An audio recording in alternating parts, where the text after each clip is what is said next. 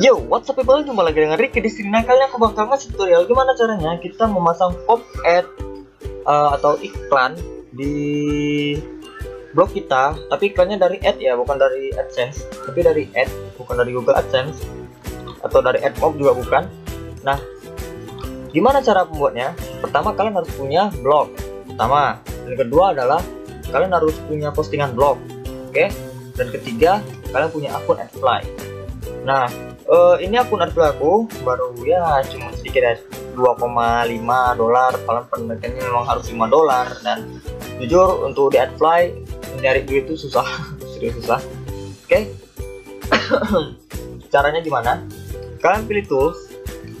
Setelah kalian buka dua-duanya kan kalian pilih AdFly terus kalian pilih tools. Dan di sini kalian lihat paling bawah terus ada pop ad nah ada pop ad di sini ada bahasa script.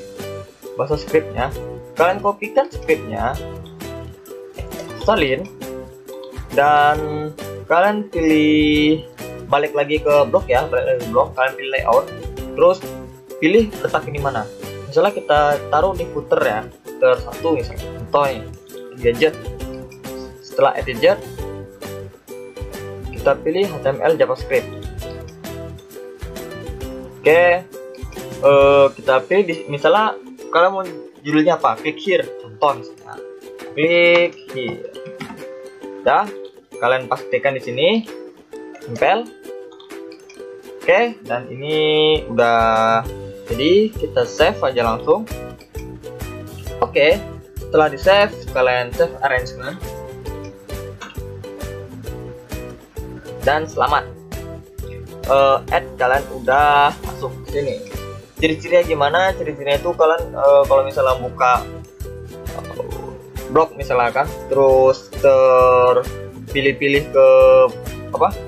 Ke situs lain atau terbuka Windows baru. Nah itu memang seperti itulah. Nah seperti ini.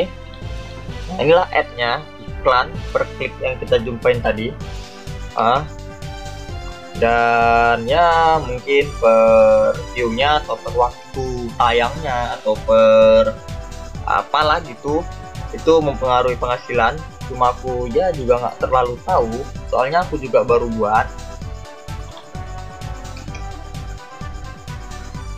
Nah dan ad earning bentar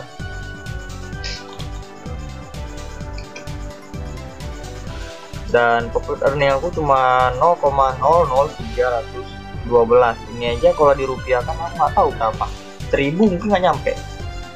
Ya kan? Oke. Okay. uh, eh, siap. Sekian dulu dari aku dan itu tadi tutorial gimana cara kita memasang pop ad atau nah yang seperti kalian tadi iklan-iklan nggak jelas. Kalau misalnya kalian berkunjung pada blog atau web tertentu web orang lain Nah seperti itu kira-kira pemasangannya ya jadilah untuk mengambil-ngambil pundi-pundi dolar yang nggak seberapa itu. Oke, okay, thanks for watch. Like videonya kalau kalian suka, dislike aja kalau kalian suka. Kalau kalian ada pertanyaan, tanyakan aja di kolom komentar. Dan kalau kalian dari guys video, bisa kalian tuliskan juga di kolom komentar. Uh, jangan lupa subscribe channel aku supaya dapat video-video update selanjutnya. Dan share pada teman-teman kalian biar teman-teman kalian tahu caranya gimana cara memasang pop up uh, eh, adfly di blog dan uh, see you in next video and bye bye